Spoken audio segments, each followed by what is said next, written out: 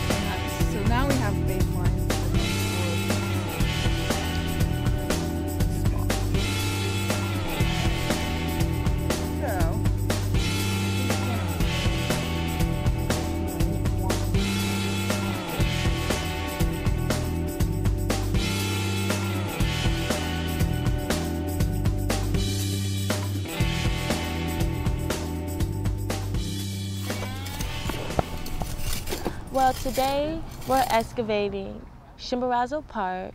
I didn't know anything about this location really until I started doing this. Um, this is Chimborazo Park. And, um, Chimborazo Hill probably uh, was once inhabited by Indians or Native Americans due to um, the hill and how high it is and how close it is to the river.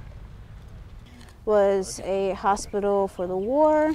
The Chimborazo Hospital, one of the largest in uh, the South for the Confederate Army.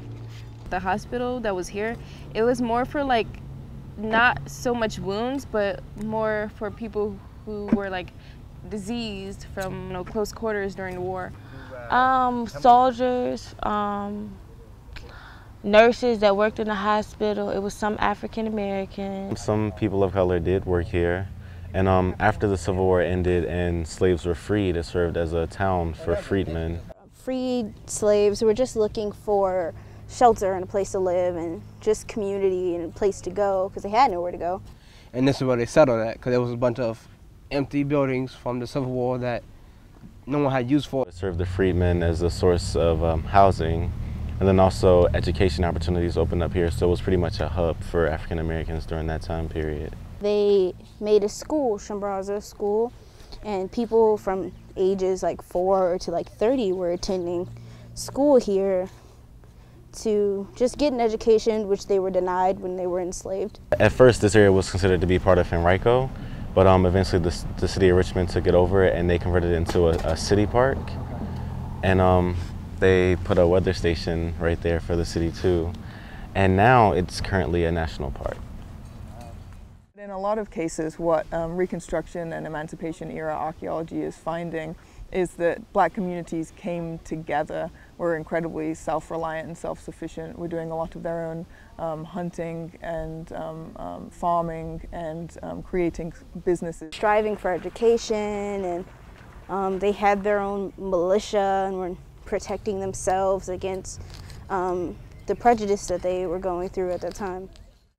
Uh, I think that this is a really good opportunity to explore history that you would never have thought about in the first place. And if you're not so much of an oral learner, and a lot of history that they teach in school is just kind of like, I'm going to tell you, I'm going to give you this lecture, this is what we're going to do. This is more of a hands-on exploration of history itself, so you get to find what it is that the history is physically and then interpret that yourself. And I think that that's just like a different a different way to go through the process. And so you may not find history interesting if someone's just lecturing it to you, but if you were part of the discovery of it yourself, there's a different aspect to consider.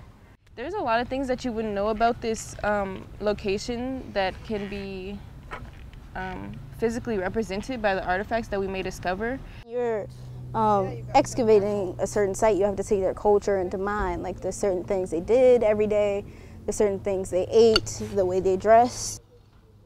I found something. Oh my goodness.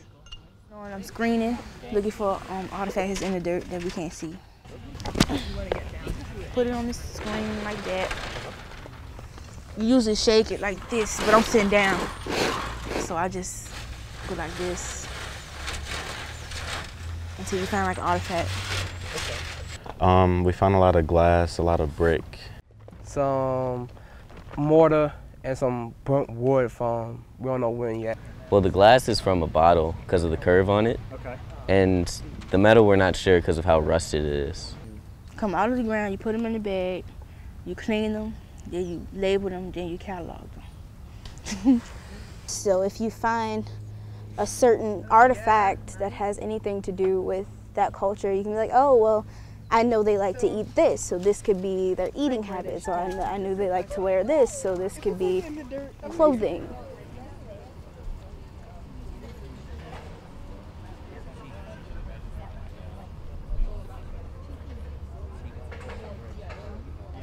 The more often people see archaeologists do their, doing their work in public, the more they think about on their own sites what could be under the ground.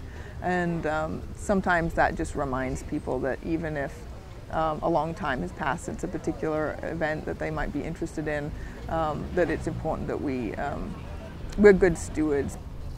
It's just a place to reflect and think about the history here, but also reflect on what we can do better in the future to better get along and coexist. And it's important to like teach future generations so we don't we don't lose that.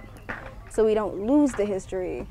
As far as the, the history here, I feel a connection with that because I, I am African American, and I mean, I, I'm not sure, like, maybe one of the freedmen here could have been some of my ancestors. I'm, I'm not 100% sure. But it's just the fact of, of learning about, you know, my, my, the history of my people, of my race. And I just found it pretty cool because before this summer, I, I did not know about the significance of this hill at all. And uh, I'm really fascinated now, and I, I actually like learning, you know, things like this. I knew it was a park. I didn't know it was a hospital or it was a um, Freedmen town. I've come here to like walk dogs and like do various things, but I didn't know there was a deeper history to it. The history of Richmond is important to me, so I feel like it would be important to a lot of other people too. It's a great learning experience, and it's fun. It's a it's fun. You're outdoors, especially if you don't really do a lot like at home. You can be doing something. You learn a lot, and plus, like we give to the community too. We make it a better place and stuff. But it is fun. You do, you do do something interesting for the whole summer. And you get to learn something that most people probably haven't learned yet about that um, area. It's an honor to be a part of this experience. Just trying something new is always for the best.